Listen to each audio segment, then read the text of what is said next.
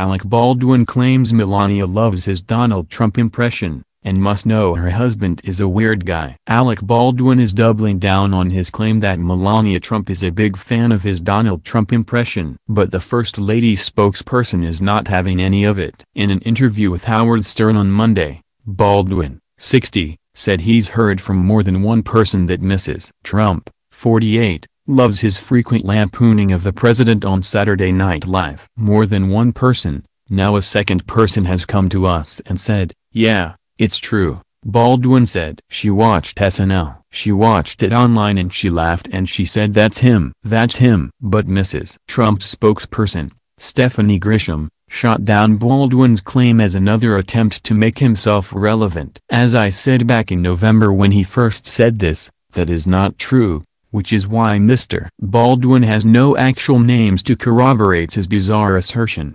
Grisham tells People. I give him credit for trying though, eight months later and he's still trying to make himself relevant by using her name. Dot. Baldwin says he's heard otherwise from two very powerful people in Washington. And in his mind, it makes sense that the First Lady would enjoy a good dig at her husband. How could it be otherwise? Baldwin said. His wife must be, my wife is on to me more than anybody, no one gives it to me like my wife. She gives it to me, she kicks me in the balls like you wouldn't believe. He added that the First Lady must know what a maniac, Trump, is and what a weird guy he is. SNL's Cecily Strong told Andy Cohen in February that she's also heard that the First Lady likes the show and likes Alec doing Trump. Baldwin first called Mrs. Trump a fan on the Brian Lehrer show last November saying her husband was horrified and beside himself that she liked the impression. Someone told me, who is friends with someone in the White House, or formerly in the White House, that Melania Trump loves SNL and she loves my impersonation,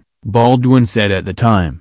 Grisham also denied Baldwin's claim then. Baldwin, who's been an outspoken critic of Trump throughout his presidency, won an Emmy for his portrayal of the president on SNL. He also told Stern on Tuesday that he would win if he ran for president against Trump in 2020. Hands down, I would win. It would be the funniest, most exciting, craziest campaign, Baldwin said. The actor added that he isn't really planning to run, but he is optimistic that a great politician will take office in 2020.